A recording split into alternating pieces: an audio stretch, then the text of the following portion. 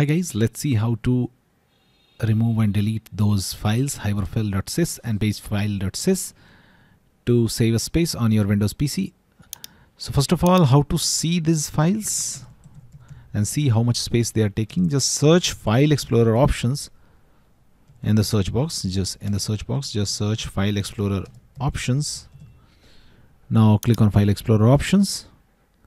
Click on View tab just click on show hidden files folders and drives. Just select it.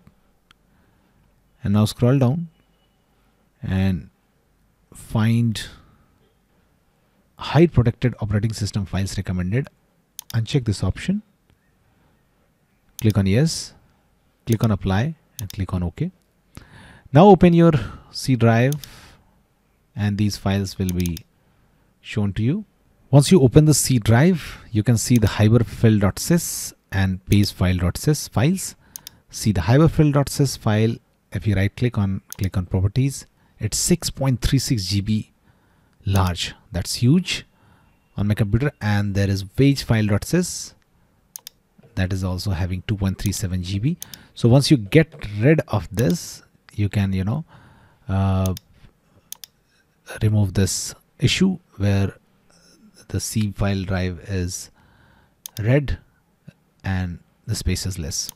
So let's see how to get rid of these two files. So for getting rid of the first file, hiberfil.sys, just search command prompt, right click and click on run as administrator, click on yes. Now what you have to do, you have to type power cfg minus h space off.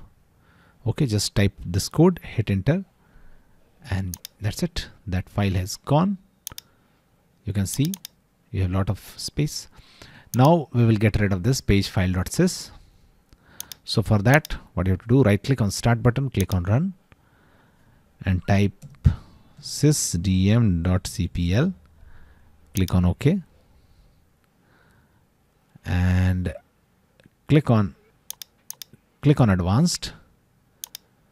Now click on settings under performance. Now click on advanced tab again.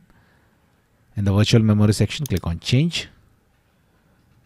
Uncheck this option automatically manage paging file size. Select this no paging file click on set. Click on yes now click on ok. Click on ok and ok. And after that what you have to do you have to restart your computer and this file will be gone. That's it guys. Please do like the video to support us and thanks for watching